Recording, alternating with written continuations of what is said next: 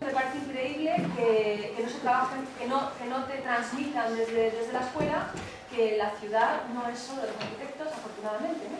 Eh, es decir, que hay que trabajar en equipo, desde un proyecto pequeño hasta un proyecto, bueno, cuanto más complejo, pues, mejor todavía, ¿no? Entonces, eh, nos parece absolutamente necesario eh, trabajar con otras disciplinas. Eh, la arquitectura experimental puede ser tan valiosa como para producir una cosa que yo llamo el eclipse de las lunas, eh, que es que por un momento desaparezcan los logros y que comiencen a ser visibles eh, las cúpulas geodésicas que se caen, las experiencias estructurales que no funcionan, comienza a ser visible aquello que no tenemos controlado. Cuando me enfrento a, a un proyecto de arquitectura para, para fotografiarlo, me, encuentro en muchas ocasiones con grandes distorsiones entre las palabras o las intenciones iniciales del arquitecto y el resultado que, que veo. Ser conscientes de, del calentamiento global, de, de la, tomar conciencia de la finitud de los recursos naturales y, y bueno, ser conscientes de que el, planeta tiene un límite para absorber residuos. Son cosas que ayer no salieron, creo recordar que no salieron, pero sí que han empezado a salir yo esperaba que salieran, ¿no? incluso más. ¿no? Creo que hay eh, notable, una notable disminución en el volumen de obra, de obra acabada. Pero sin embargo, sois exponencialmente más mediáticos que antes. Es decir, seréis más mediáticos. O sea, estáis, estáis en todos los medios. Es cierto, hay más medios, ¿no? Pero oye, lo joven vende.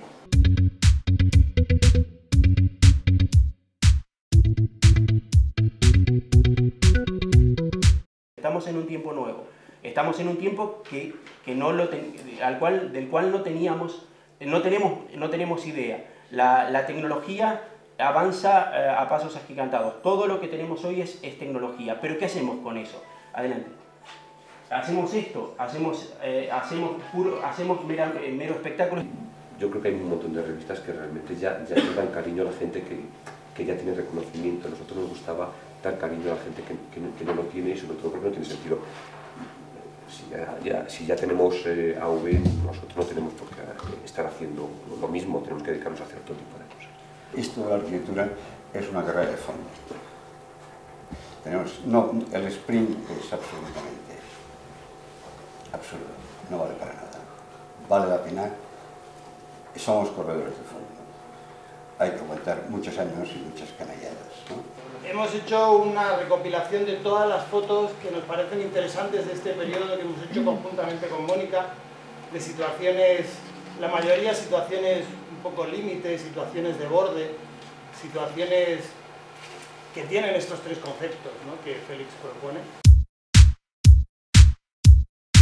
Damos cuenta que a medida que seguimos trabajando con nuestras cosas, vamos teniendo claro qué es lo que nos interesa, vamos eh, implementando mucho más, vamos creciendo eh, digamos, en potencial y en relación también a lo que decía como Carlos antes, ¿no? o sea, tenemos clarísimo que esto es una carrera larguísima que no acaba más que para nosotros por lo menos de, de, digamos, de empezar. A través de cosas muy sencillas, acciones en las calles y participación con los vecinos, pues vas cubriendo algunas calles, vas participando con ellos. Hay gente que se confunde y piensa que es por el equipo de fútbol y cosas de esas, pero bueno, siempre hay alguien que, que interpreta, asocia los carteles a lo que está pasando y a la vez va solucionando cosas. Mi opinión es que la forma de abordar la información sobre las circunstancias que rodean la puesta en pie de un edificio se ha producido desde hace ya algunos años la súbita irrupción del arquitecto como protagonista absoluto del relato periodístico. Esto ha tenido como consecuencia el modo hollywoodiense, el actual Star System de arquitectos a nivel mundial y la progresiva desmesura y el gesto arquitectónico cada vez más estridente de algunos de los más celebrados proyectos que compiten en esta hoguera de las vanidades de nuestro mundo globalizado. Hasta la discusión de lo icónico y lo anicónico, yo creo que es una, una cuestión que está relacionada con la cultura. Supongo que hay cosas icónicas que son magníficas, porque a lo largo de la historia de la humanidad ha habido obras eh, que tenían un gran significado de la coyuntura, de la civilización y tal, y está bien que estén ahí. Y hay otras que se llaman icónicas que posiblemente sean chatarra dentro de una serie de tiempo. ¿no? Nos estamos enfrentando a un momento en lo que se nos pregunta, usted, ¿ustedes qué dan? Aparte de un discurso endogámico, hablando de sus procesos, hablando de cómo ahora interpretan la realidad, hablando de cómo... Bueno, me parece que, que esto es importante. Es decir, a un riesgo de simplificar, a un riesgo, digamos, de perder todo este aditamento del discurso arquitectónico específico, incluso con vocabularios nuevos, con diccionarios que hay que reinterpretarlos, etc. Al final se nos está pidiendo qué es lo que damos como signo distintivo que hace que merezca la pena hacer arquitectura o recurrir a la arquitectura. Y eso yo todavía no lo tengo claro. La sorpresa ha sido, la sorpresa ha sido para mí, lo digo sinceramente, que, que he visto, eh, bueno, he visto una intensidad enorme, cosas que me interesan muchísimo. No me preocupa tanto el debate como conclusión, porque creo que ha habido esta marasma de intensidad y de, reflexiones muy interesantes, pero sí que sacaría una, una conclusión.